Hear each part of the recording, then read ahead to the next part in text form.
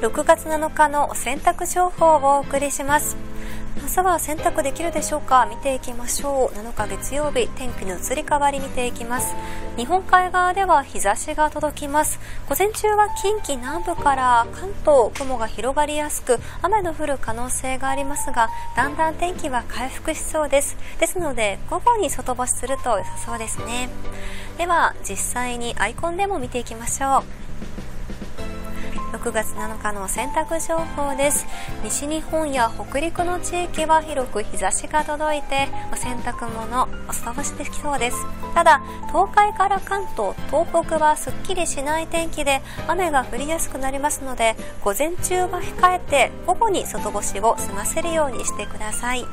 以上お洗濯情報でした。